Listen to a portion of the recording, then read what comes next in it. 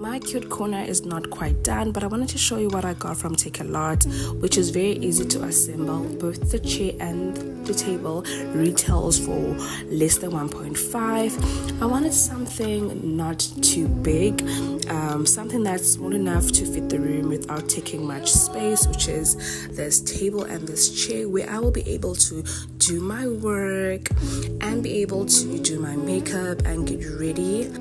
I can't wait to show you the end results.